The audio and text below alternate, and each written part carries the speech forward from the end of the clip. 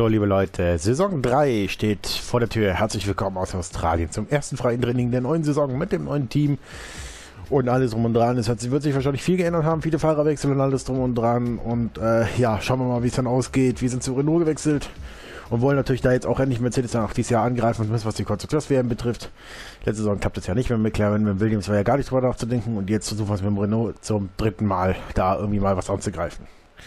Fahrer WM wollen wir auf jeden Fall verteidigen und Konstrukteurs WM soll auch auf jeden Fall unser großes Ziel sein. Aber jetzt schauen wir mal erstmal, wer unser neuer Teamkollege wird, ob es ein alter Bekannter wird aus der Formel 2 oder jemand ganz Neues. Es ist viel passiert auf jeden Fall.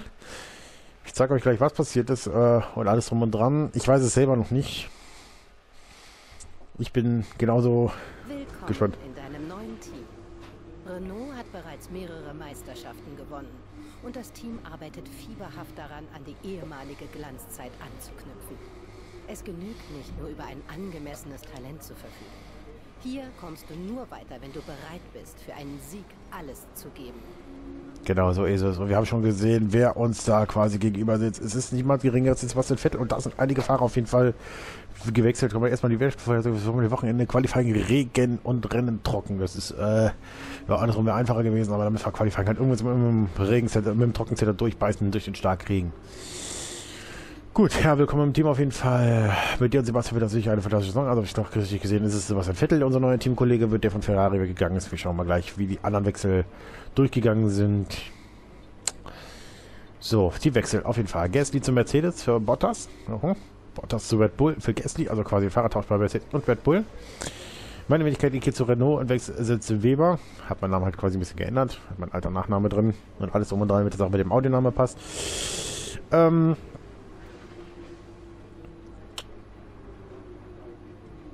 Ja, genau. Vettel ist zu Renault für Hülkenberg gegangen. Weber ist jetzt Ferrari. Geht zu Ferrari, okay. Also quasi da auch ein Fahrertausch. Raikön zurück zu Alpha, ersetzt Norris. Hülkenberg zu Haas, ersetzt, Raik ersetzt Raikön. Das war ja auch mal lange im Gespräch, dass der mal zu Haas wechseln könnte. Norris zu Haas, genauso. Also Hülkenberg und Norris zu Haas. Dafür jetzt Grosjean raus und Giovanni von McLaren für uns. Ja, bin mal gespannt, wie die neue Saison beginnt. Oder wie die neue Saison anfängt. Wir gehen mal rein ins erste freie Training der neuen Saison.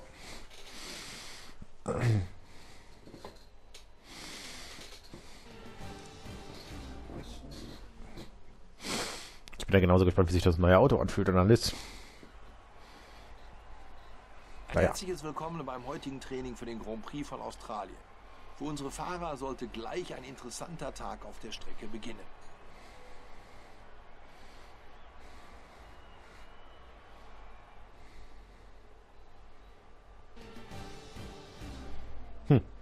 Okay, mehr gibt's nicht. Ich dachte, es wäre noch ein bisschen was mehr gewesen zum Intro in die neue Saison, aber scheinbar nicht. I've had a chat with Carl about the new parts and we're happy that they've been integrated into the car okay. Der Freitag ist auf jeden Fall komplett trocken. Der Freitag ist zum Beispiel komplett trocken. So, fahren wir raus mit dem neuen Auto auf die Strecke. Die ersten Runden im Renault.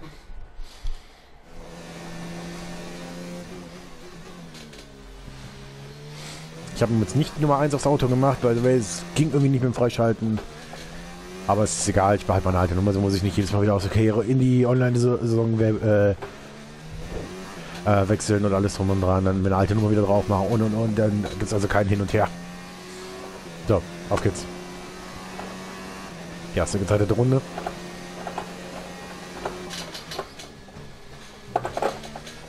Ich glaube, wie sich das Auto fühlt sich schon mal sehr gut an. Hat auch einige Siege diese letzte Saison gehabt. Ich habe zwei oder drei waren es auf jeden Fall. Ich kann mich an Japan und Brasilien erinnern. Und wir wollen ja noch einige Siege vorher fallen lassen. Letzte Saison mit McLaren die ersten Rennen haben wir ja hier gewonnen. Und das darf mit dem Renault gerne weiter so gehen.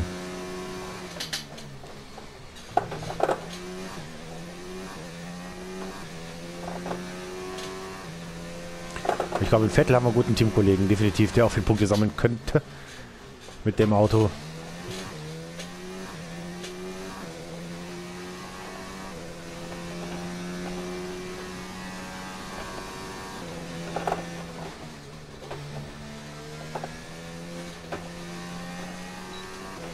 So, zweiter Sektor.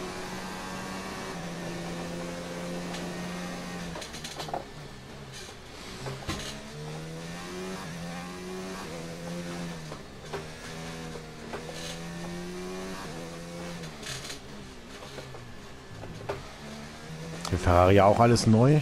Leclerc ist geblieben. Vettel ist wie gesagt bei uns jetzt. Das ist unser neuer Teamkollege.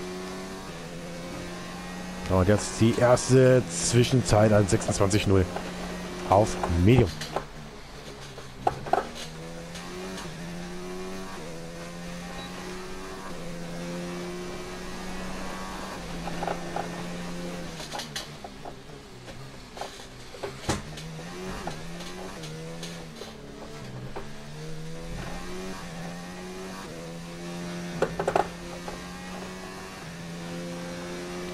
Bisschen zwischendurch immer mit. Vorsprung.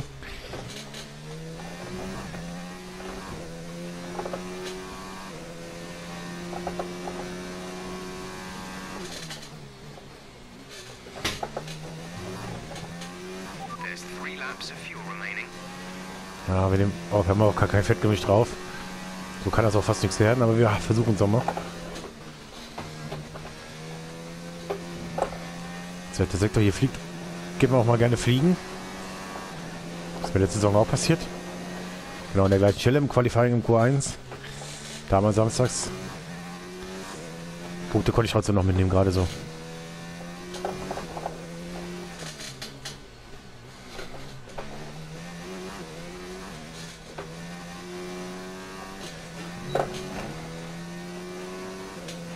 So, wir nehmen fast eine Sekunde mit als 25.1.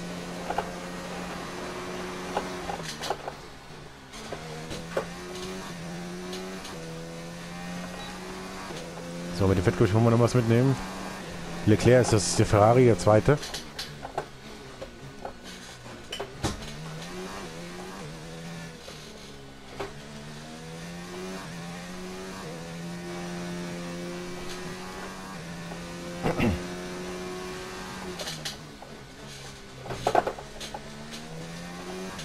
Eine leichte Querstellung gehabt, das kostet uns die Zeit.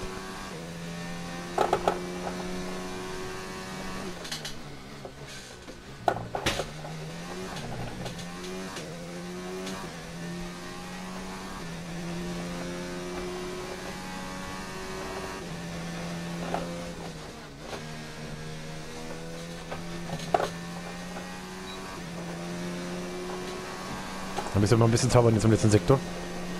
Aktueller Rückstand.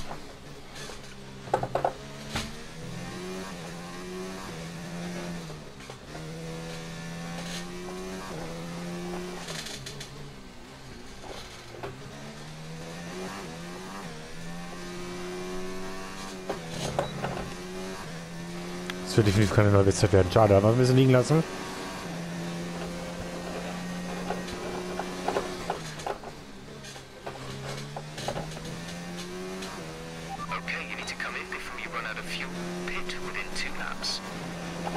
Raikön, der mal wieder beim Alpha-Team.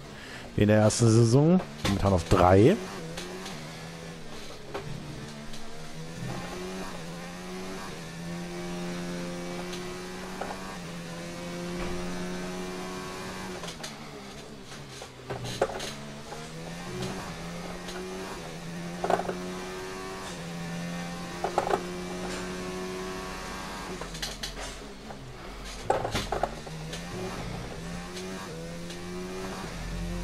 Bisschen Zeit nehmen wir jetzt mit.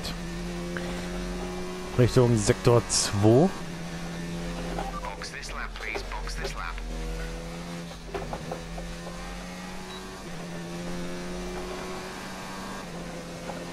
Doppelviolett. Es könnte tatsächlich nochmal eine Bestzeit geben. Wenn alles läuft, wird das 1,24, 9, 8 oder 8. Irgendwie sowas in die Richtung. Auf Medium ist das gar nicht mal so schlecht.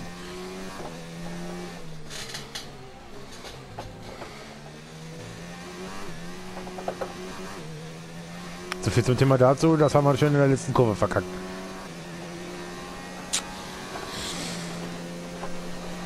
Scheiße.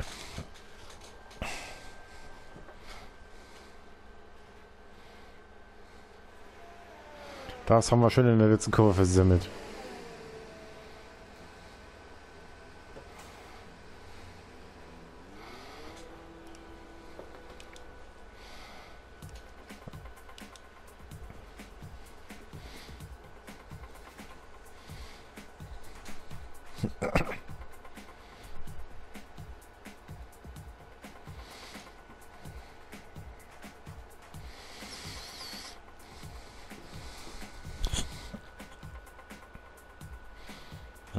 Teamkollege aber momentan auch noch nicht weiter oben mit dabei.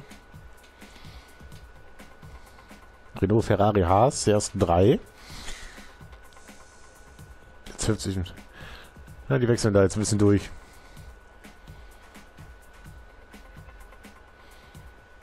Es wird Zeit, noch einmal einen Blick auf die drei Bestplatzierten zu werfen. Richter, Leclerc und Landon. Das war's. Das Training ist offiziell beendet. Bis zum nächsten Mal. Auf Wiedersehen. Der Teamkollege auf 15, auf, oh, auf hart. Ja.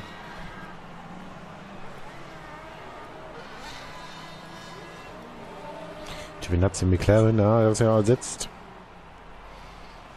Und jetzt geht's im Renault um alles. Ich hoffe, die Teams sind auch gar nicht so gleich geblieben. Ich glaube, 90 Williams hat sich jetzt hat sich nicht wirklich verändert. Das alle drei Top-Teams haben durchgezogen. Nee, Torres war auch nicht. Und auch Racing Point hat die zweite. Ja, doch, drei, vier Teams sind das gewesen, die es nicht gemacht haben. Aber der Rest ist, hat quasi einmal komplett durchgewechselt. Hm. Und ja, persönlich mal recht, da ein bisschen Abwechslung drin und immer nicht immer dasselbe.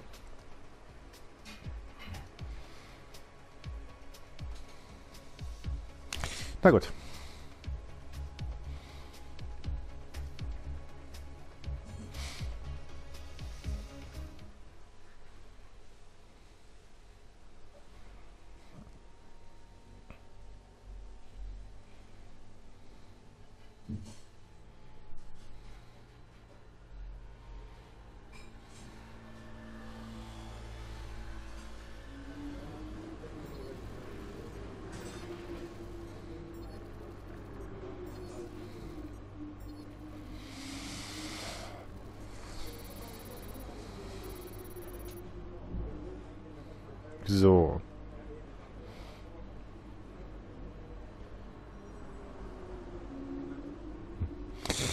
So, ich werde jetzt natürlich gleich, wie gesagt, für diese Saison keinen Teamwechsel geben.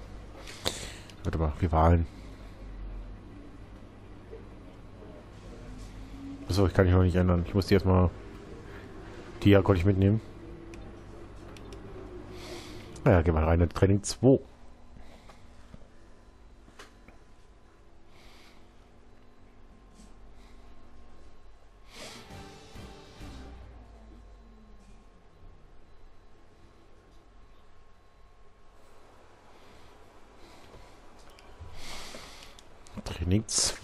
Wieder auf Medium, klar. Ist der Vorteil, dass das Qualifying verregnet ist. Also, theoretisch können wir tatsächlich auf, äh, wenn wir schnell starten, wollen auf Medium gehen. Wenn das passt. Können wir tatsächlich auf Gelb starten, lang genug fahren und dann noch auf Rot gehen und vielleicht sogar uns keinen Vorteil holen. Das wäre natürlich eine Idee. Das macht natürlich auch wieder einen kleinen Vorteil. Aber der Regenmorgen, mal gucken, wie es wird.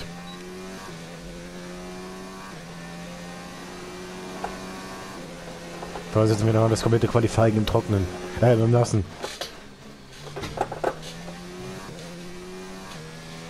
So, mal gucken, was unser Teamkollege heute fabriziert. Wir sind natürlich gleich mit momentan vorne dabei.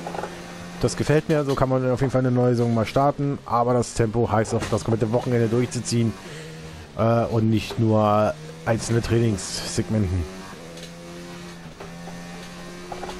Wobei ich immer gerne so, rein hätte wie jetzt die letzten zwei Wochen mit Brasilien und mit Abu Dhabi, wo wir dann ein bisschen aus dem Mittelfeld aufholen, beziehungsweise sogar fast vom Ende aufholen mussten. Äh, das hat mir Spaß gemacht, vor allem das in Abu Dhabi. Irgendwie bis zwei, drei Runden vor Ende noch nicht zu wissen, ob man erster oder zweiter wird. Und dann Gott sei Dank den Verstappen da noch abgefangen hat. Brasilien war ja klar, dass es da nichts wird, aber die Saison soll es auf jeden Fall pa passen. Die Saison muss die Konstrukteurs-WM irgendwann mal her. Das ist mein großes Ziel. Renault wieder dahin zu führen, wo es wo sie es verdient haben. Und das heißt ganz an die Spitze. Aber so ein Quersteher wie jetzt gerade wird das eh nichts. Und ich fahre uns mit Lenkrad, ja. Deswegen, im Controller ist es ja schwierig, solche Autos so abzufangen.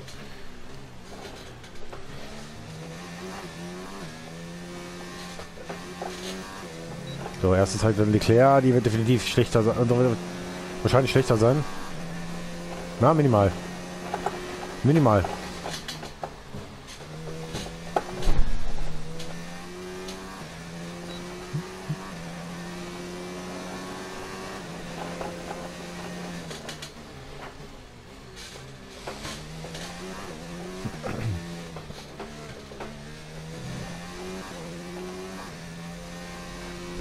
Aber jetzt müssen wir es deutlicher machen.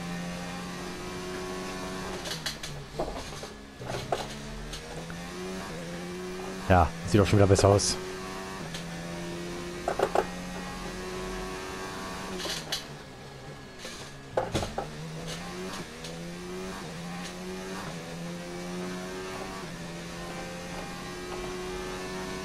Gute Sekunde.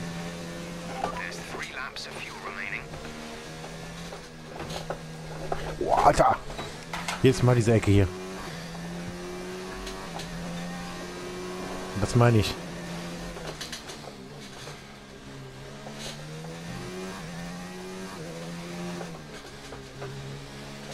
Na, es ist...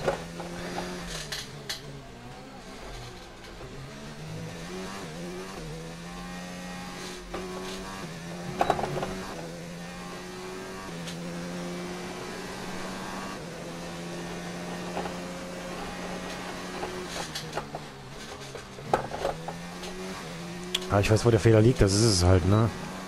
Also nochmal.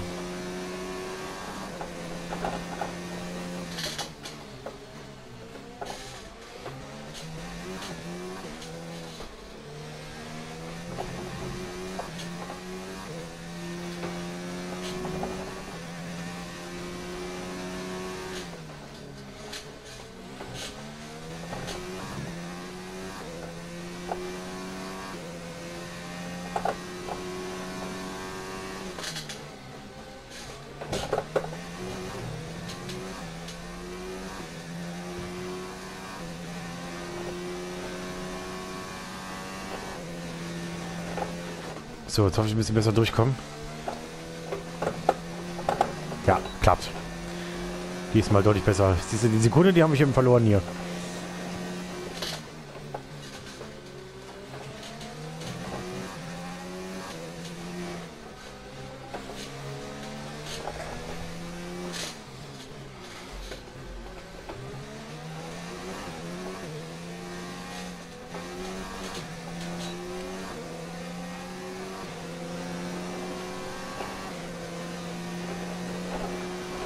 So, 25. 1.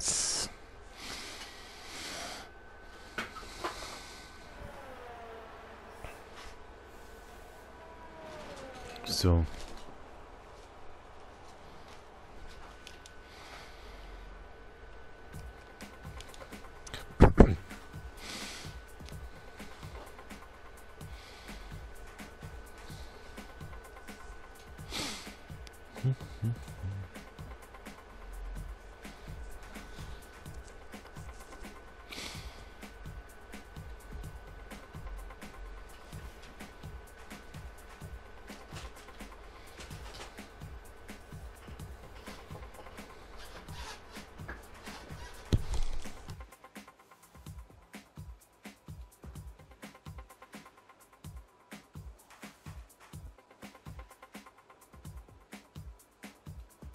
So. Und da jetzt alle Fahrzeuge die Ziellinie überquert haben, schauen wir jetzt noch einmal Neunter. die drei Bestplatzierten. Hamilton, Richter und Valtteri Bottas. Wenn das heutige Training auf etwas hindeutet, dann auf ein außergewöhnliches Wochenende der Formel 1. Naja, vorne dabei auf jeden Fall.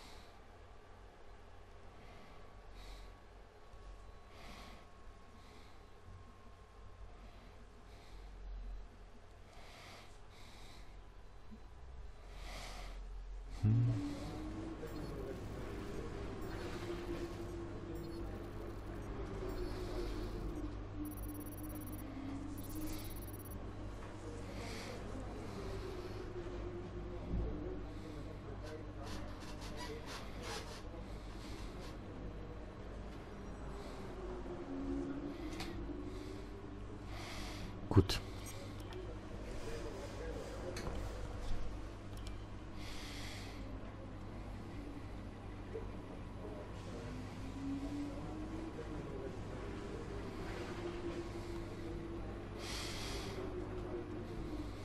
Gehen wir mal rein, das Training 3.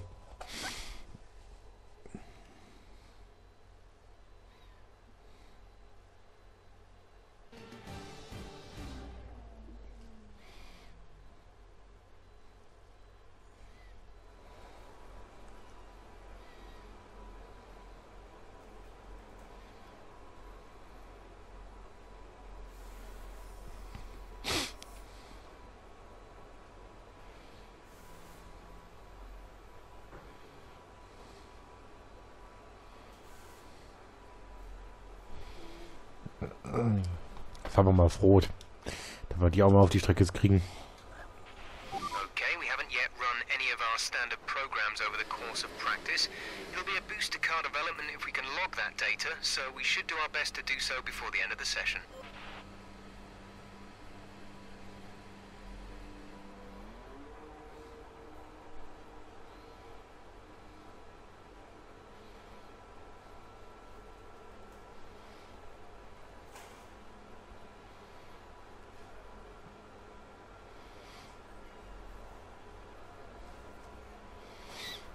So.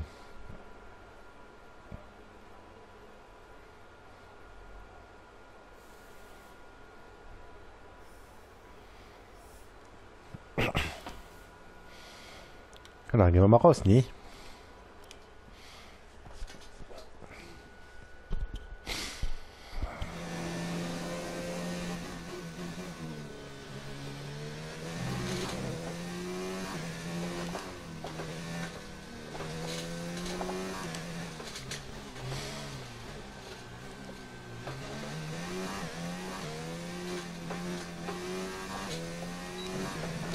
auf.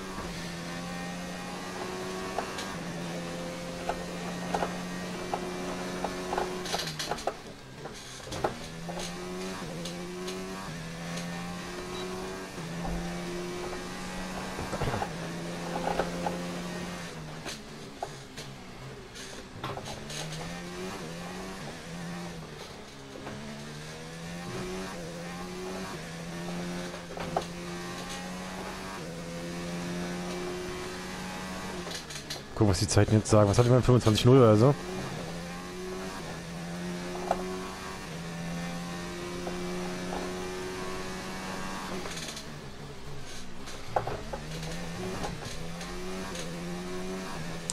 Da wollte ich jetzt runterkommen.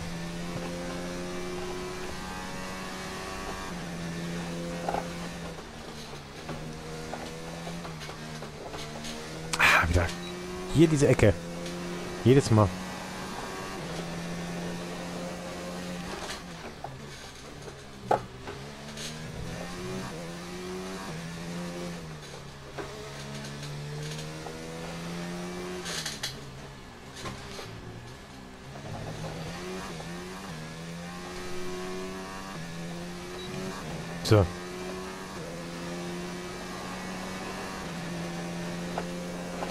20,3, fast eine Sekunde.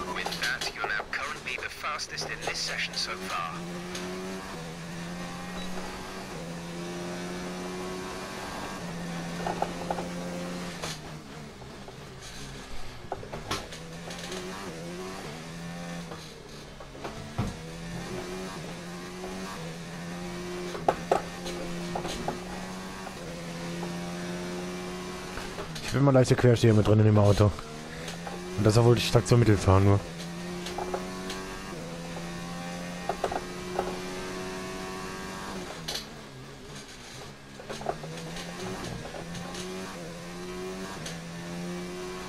There's three laps of fuel remaining. Gucken.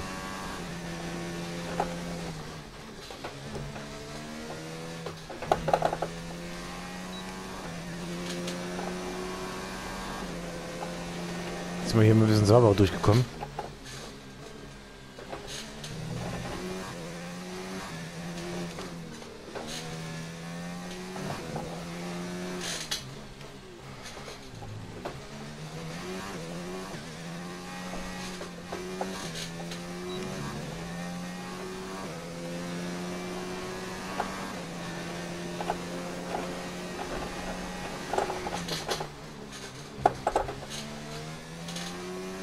So. Eine Runde fahren wir noch. Ich versuche mal die Zeit noch ein bisschen zu drücken. Vielleicht eine 23 dazu hinzustellen.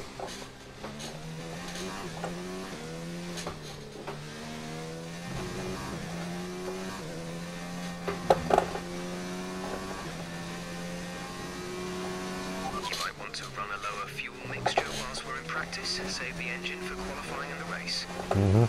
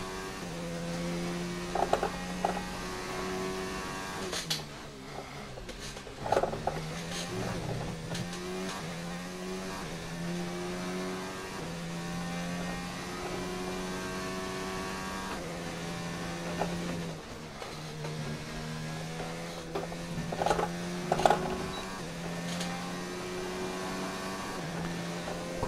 Gucken wir, was wir hinkriegen. We're low on fuel. Box in the next two laps, please.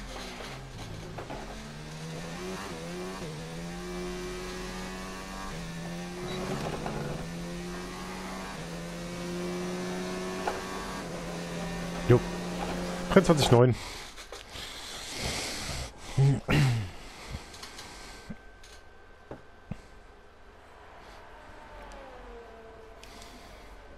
23,9.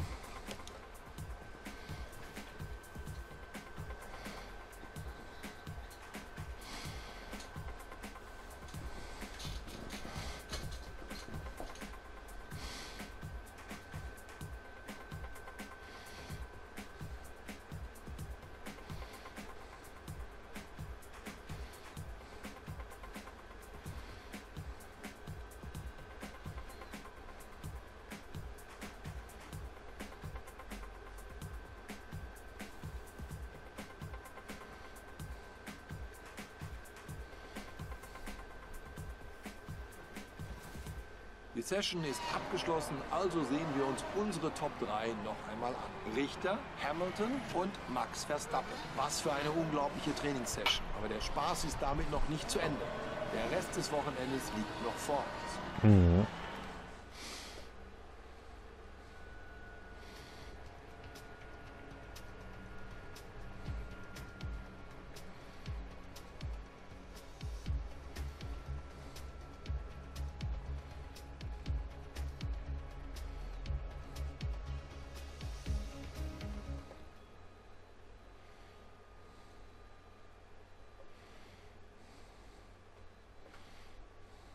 So.